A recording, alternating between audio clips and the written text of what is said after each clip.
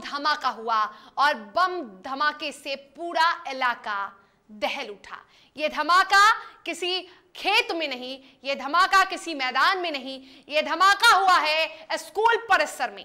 गया में बम विस्फोट स्कूल परिसर में हुआ। वजीरगंज थाना अंतर्गत मौजूद एक सरकारी स्कूल के बाहरी परिसर में यह विस्फोट हुआ। परिसर में यह धमाका होने के कारण दो बच्चे भी घायल हो गए। जिनका इलाज अस्पताल में जारी है। मौके पर बम निरोधी दस्ता पहुंचकर जाँच में जुटी तो वहीं पुलिस भी मामले की जाँच पड़ताल में जुटी। तो बता दें कि गया में एक ऐसा मामला सामने आया है जो बेहद चौंका देने वाला है। स्कूल के परिसर में बम विस्फोट हुआ है और ये बम धमाका इतना तेज था कि तमाम जो इलाके के लोग हैं वो सख्ते में आ गए और इस बम धमाके से दो बच्चे घायल हो गए। जर्दा का शायद डिब्बा होता है उसमें बताया गया है। एक अ, मॉम पटने की वो आए हैं सूचना जिसके लिए मैंने मॉम डिस्पोजल स्कॉड को और स्निपर डॉग को यहाँ पे डॉग स्कॉड को भेज रही हूँ और मैं खुद भी जा रही हूँ उसमें?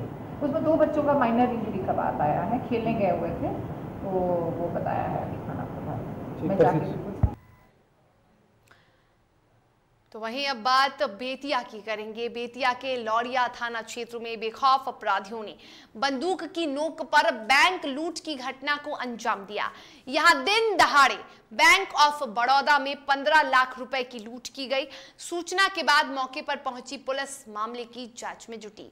जानकारी के मुताबिक करीब छह की संख्या में बदमाशों ने लूट की घटना को अंजाम दिया। पुलिस सीसीटीवी फुटेज को खंगालने में जुटी है। गौरतलब है कि जिस बैंक में लूटपाट हुई, वहाँ से थाना भी महज कुछ ही दूर पर था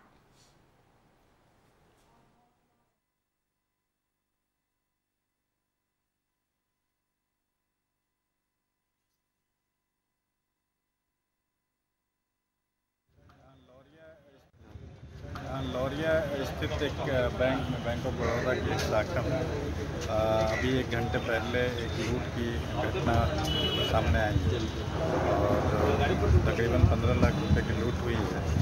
और अभी तक जो तथ्य सामने आ रहे हैं, उसके हिसाब से तीन से चार लोग के शामिल होने की अंदेशा है।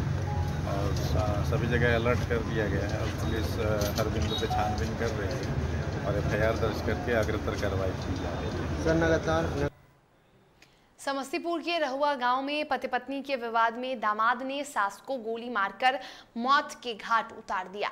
जानकारी के मुताबिक ससुराल पहुँचे आरोपी मनोज यादव की उसकी पत्नी से कहा सुनी हुई, जहाँ बीच बचाव में आई सास पर उसने ताबड़तोड़ गोली चला दी। गोली लगने से सास की मौत हो गई। मृतका के परिजनों ने आरोपी दामाद की पकड़कर पिटाई की और पुलिस के हवाले कर दिया। रोसड़ा थानाध्यक्ष ने बताया कि आरोपी के पास से हथियार भी बरामद हुआ है।